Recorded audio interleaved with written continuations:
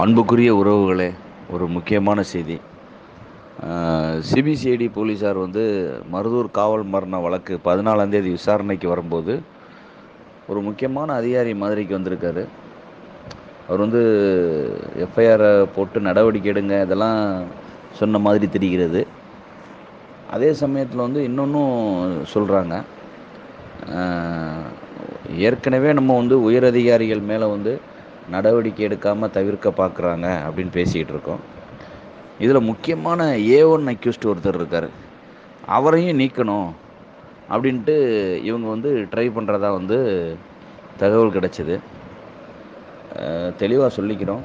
இன்றைக்கி புதுசாக ஒரு மனு ஒன்று தாக்கல் பண்ணுறோம் சிபிசிஐடி மேலே அதுவும் அவரை அந்த ஏ ஒன்று நீக்கணும்னு சொன்ன அதிகாரி மேலே ஏன் நடவடிக்கை எடுக்கக்கூடாது? அப்படின்னு கேட்டு தாக்கல் பண்ணுறோம் அது மட்டும் இல்லாமல் வந்து இது சிபிஐக்கு மாற்றிட்டு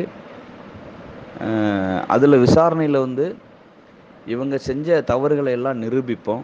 இவங்க நினச்சிக்கிட்டு இருக்காங்க நம்ம எதுவும் ஆதாரம் இல்லாமல் பேசுகிறோம் அப்படின்னு நினச்சிட்டு இருக்காங்க போல இருக்குது தவறு அது.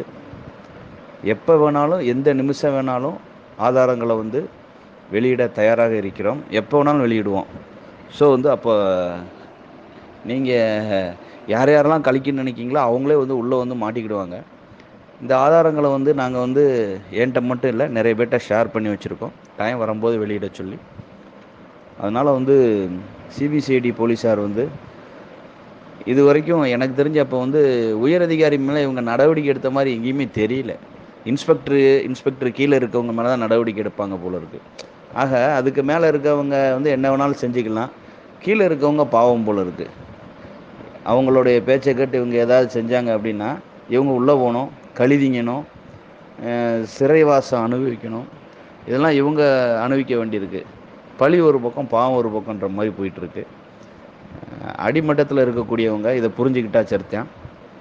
ஆனால் எப்படின்னாலும் தெளிவாக சொல்லிக்கிறோம். அது மாதிரி ஒரு சூழ்நிலை வரும்போது எத்தனையோ பேர் அப்ரூவராக மாறுறதுக்கு வாய்ப்புகள் இருக்குது எங்களுக்கு அது நல்லது தான் ஒரு பக்கம் பார்த்தா. உண்மையான குற்றவாளிகளை போடாமல் மேலதிகாரிகளை காப்பாற்ற நினைக்கும் போது கீழ்நிலையில் இருக்கவங்க நிறைய பேர் அப்ரூவராக மாறிடுவாங்க. இதுதான் நடக்கும். நாங்கள் அந்த வந்து எதிர்பார்த்துக்கிட்டு இருக்கோம்.